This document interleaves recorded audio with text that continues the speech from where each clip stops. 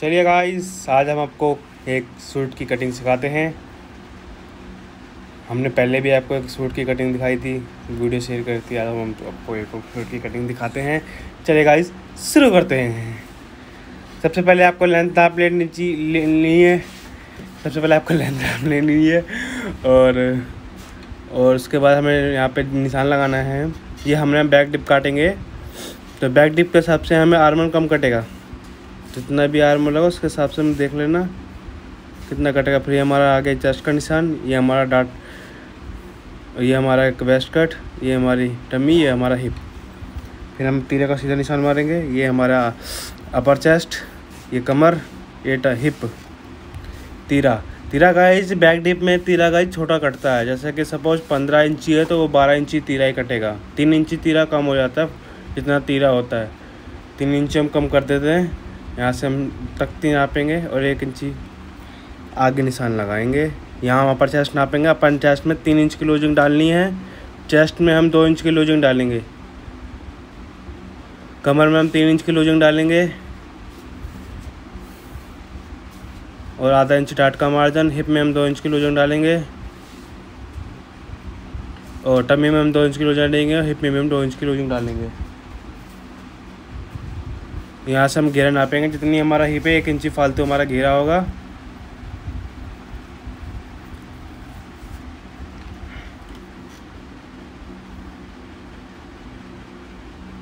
ये हमने आर्मों का निशान निशान लगाया। ये हमने चेस्ट का निशान लगाया।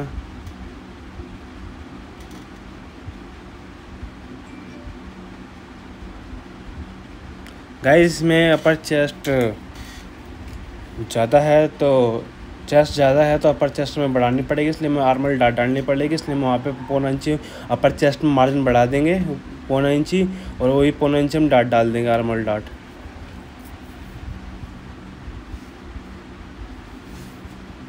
यहाँ हमने सूट गले का निशान लगा दिया है। और पीछे हम जो हमने निशान लगाए थे चेस्ट के, वेस्ट के टमी के उस पर हम डाट उसी को निशान लगा लें गाइस जिसकी टमी कम होती है, उसकी डाट लंबी घेरते हैं, जिसकी टमी ज़्यादा निकली होती है, उसकी डाट हम छोटी घेरते हैं।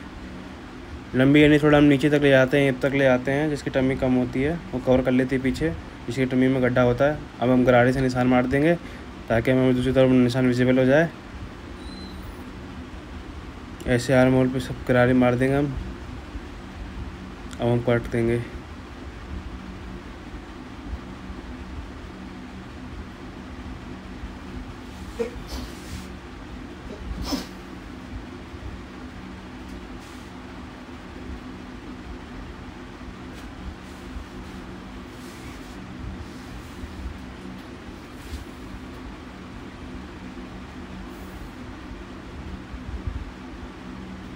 देखिए गाइज़ ये हमारी सूट की कटिंग हो गई है।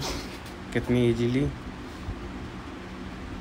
और का जो हमने आर्मल डाट डाली है ना हमने आगे के पल्ले में, वो हम उसको भग का मतलब सिकोड़ के पीछे जो मार्जिन नीचे ना निकल रहा होगा, पौना इंची मार्जिन छाड़ देंगे। बैक हमारी फिक्स रहेगी बैक में कोई डाट नहीं रहेगी। बैक का मार्जिन कट के मार देंगे हम। बैक करने से गले का निशान लगा लेंगे गला हमारा डीप है डीप ही कटा है, ध्यान रखना डीप में तीरा कम कटेगा, और नॉर्मल में हमारा तीरा फुल कटेगा।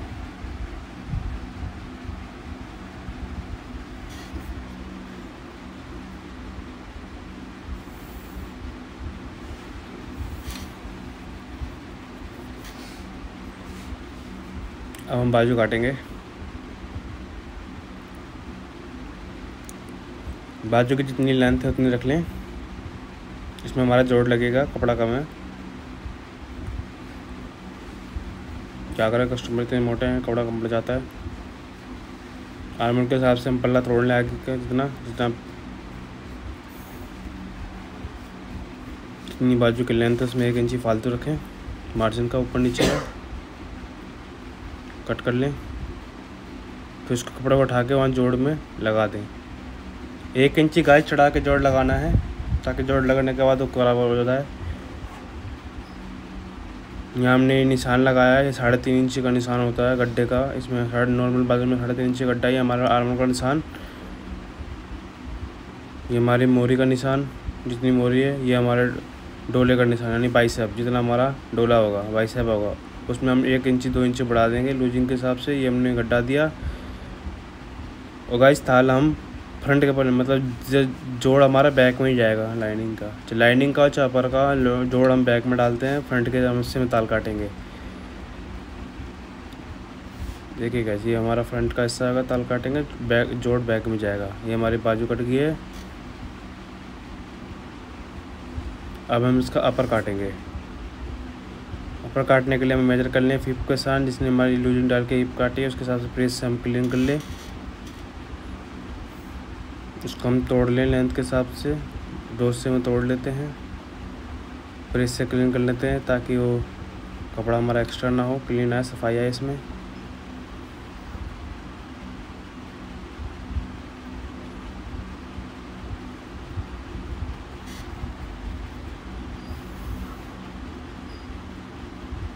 अब हम जो जो हमने लाइनिंग काटी है वो रख के हम उसको कट कर लेंगे।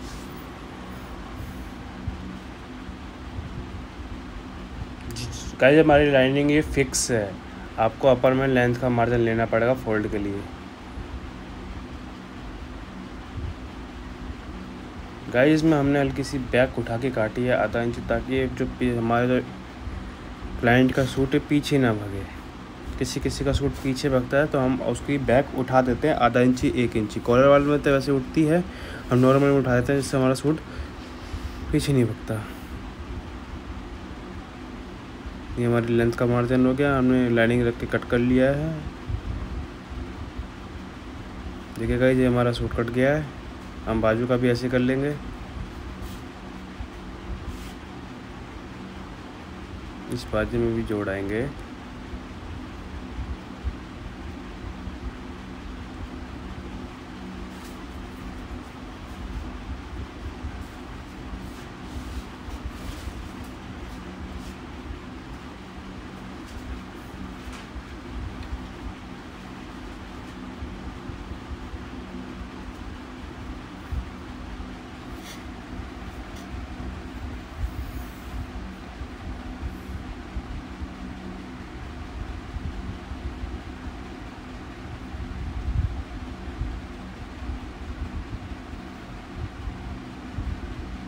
जो हमारा कन्नी वाला हिस्सा वो हम कट कर देंगे तो कन्नी खैच मारती है। नम सा दिखाई देता है ऐसा लगता है एक इंच मार्टन चढ़ा के ले लेंगे जोड़ पे, और लाइनिंग रख के कट कर लेंगे। ये हमारा बाजू का अपर कट गया है। देखिए गाइज़ हमारा सूट कट चुका है। हमारी वीडियो को लाइक कर दे सब्सक्राइब कर दे, और कमेंट में अच्छे से कमेंट कर दे। थैंक यू गाइज़ मिलते हैं आपको नेक्स्ट वीडियो में। Bye bye